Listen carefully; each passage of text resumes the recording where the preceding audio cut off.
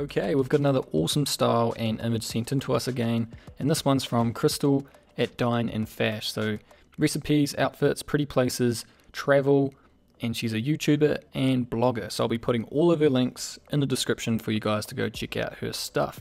So, as we come down and look at her feed, we can see her whites are very bright and they're almost blending in with the background, and her blacks are quite dark, but there's little, if any, fade in them and the one other very obvious thing is there's a purple or pink cast to the entire image.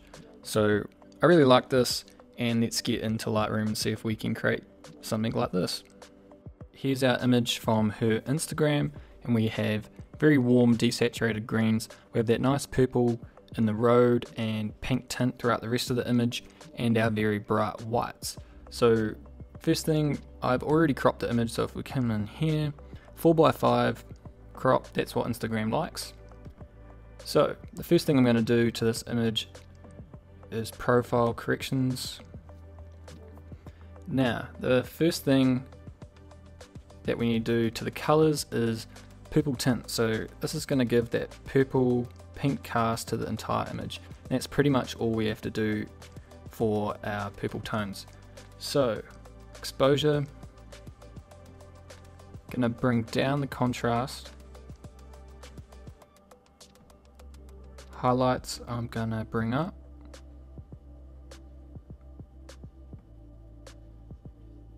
Shadows I'm gonna bring up as there's very little shadows.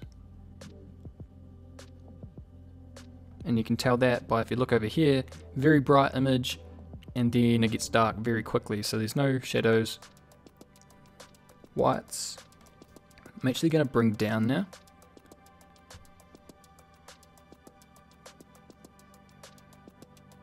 But we will still have a very bright image. So it was pretty bright when it was taken. Blacks I'm going to bring down.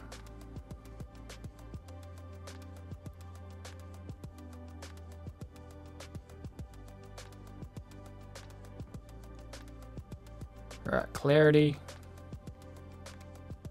about there and onto tone curve. So very little fade. Just bringing it up a bit.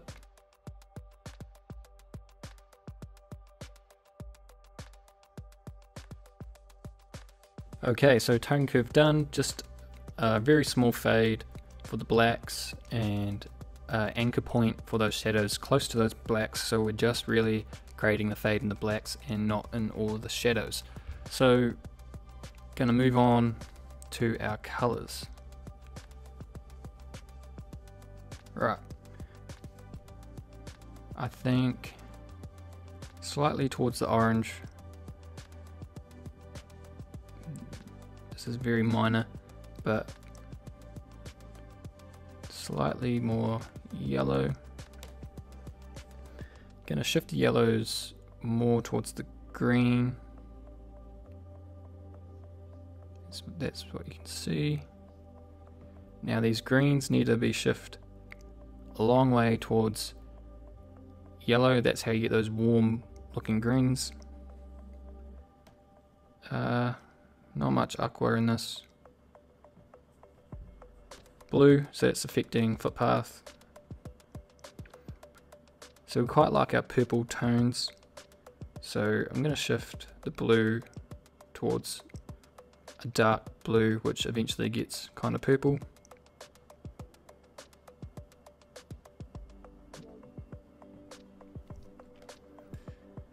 Shifting the purple away from the blue to create even more purplish colour.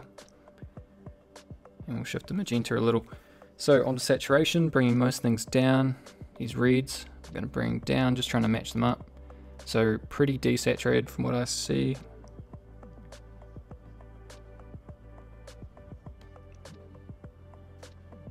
Keep orange up a little. Yellows, so just take a bit out of those leaves.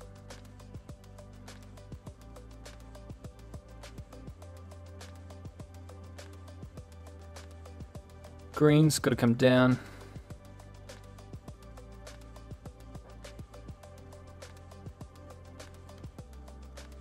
Aqua, blue. As you can see it's doing. Just just trying to match them up. Just takes practice to really pick what's going on. Purple, bring it down a tad.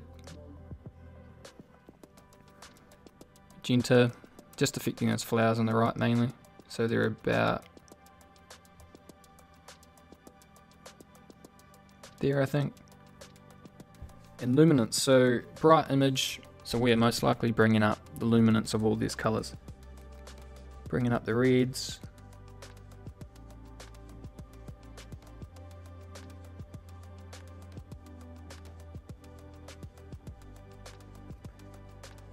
Gonna leave the, maybe bring up the yellows, leave them there for now. But I'll really bring up the greens.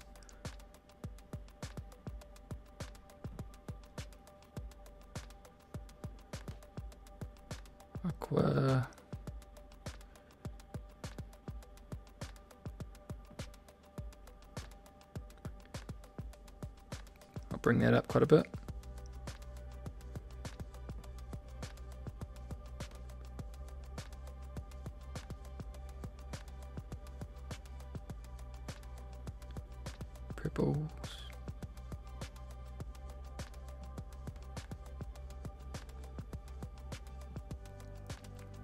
So when we slide the blue now, it's not even affecting blue colors, it's affecting purple colors.